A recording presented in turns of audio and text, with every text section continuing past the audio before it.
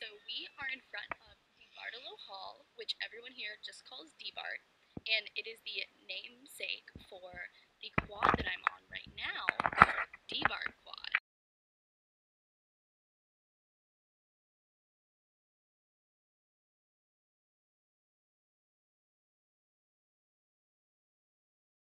And this quad is absolutely beautiful, just like they all are, and it houses purely academic buildings. So we have DeBartolo Hall, which is where the majority of the classroom spaces on campus are. We have the law school right in front of me. We have over there one of the engineering buildings. We have the Mendoza School of Business and the DeBartolo Performing Arts Center at the end of the quad. So I'll give you guys a quick. So I just stepped into DBART, which has 73 classrooms of all different sizes.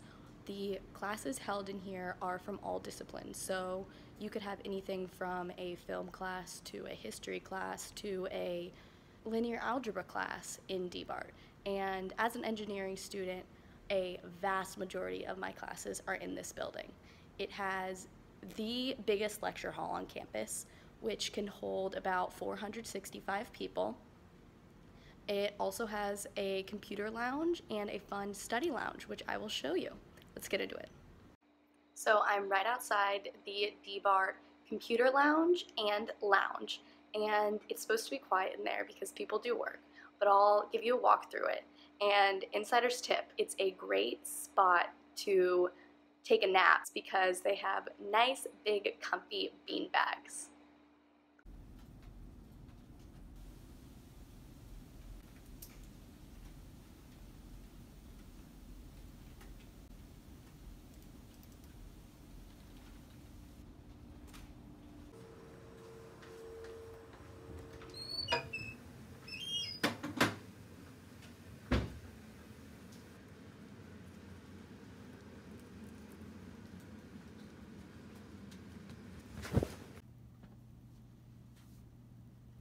So I am in the biggest classroom on campus. This is DeBartolo 101, and like I said, it holds 465 people.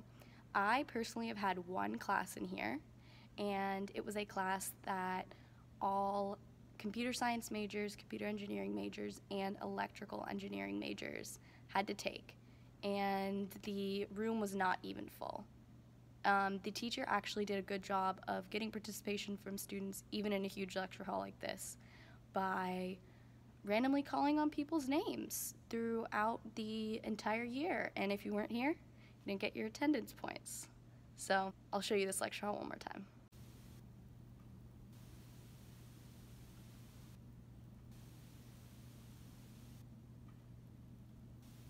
On the other side of the spectrum, here is a seminar room in DeBartolo Hall.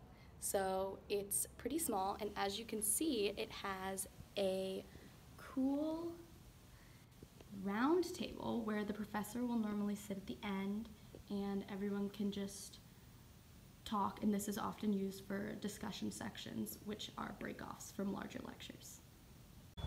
And on nice days like today, professors will sometimes have class outside, which you can see going on right there.